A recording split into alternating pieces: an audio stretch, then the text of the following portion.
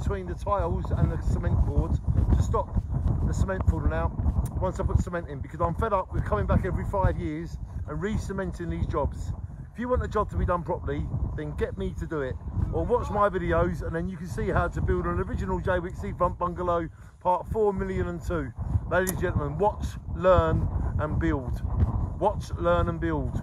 Watch, learn and build yourself. Watch, learn and build yourself. Watch, learn and build yourself. Yes, you can do it. But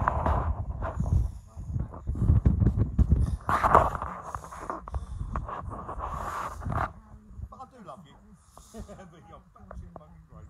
You gotta be to get up at the hours that you want me to get up. Look, this, this this thing we built that we're standing on. Yeah. It's better than your dad give us. My dad would be going, we got prom- promoted, didn't we?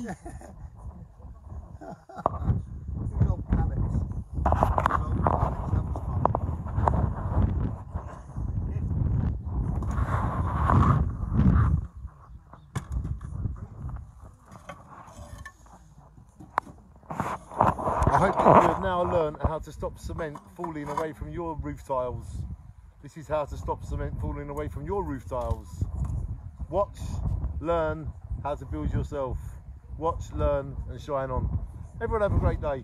Hope you enjoy my videos I make during work because I don't have to work while I'm making them, which is really cool. Shine on.